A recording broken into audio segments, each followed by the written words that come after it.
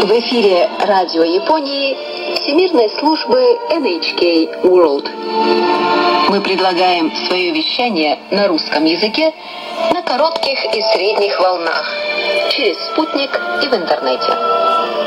Подробно о времени и частотах нашего вещания вы можете узнать на веб-сайте nhk.jp/russian. Приглашаем послушать наши программы.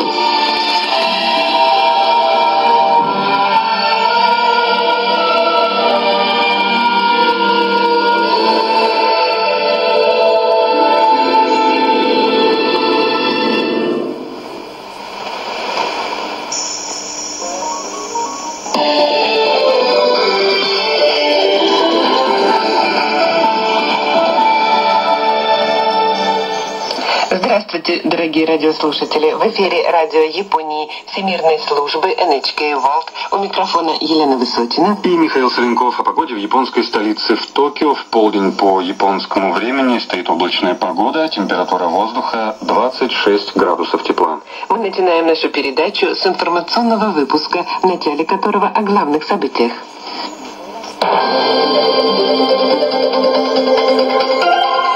Соединенные Штаты Америки призывают Китай усилить давление на Пхеньян.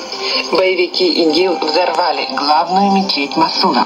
Японские компании знакомятся с ситуацией в российской экономике.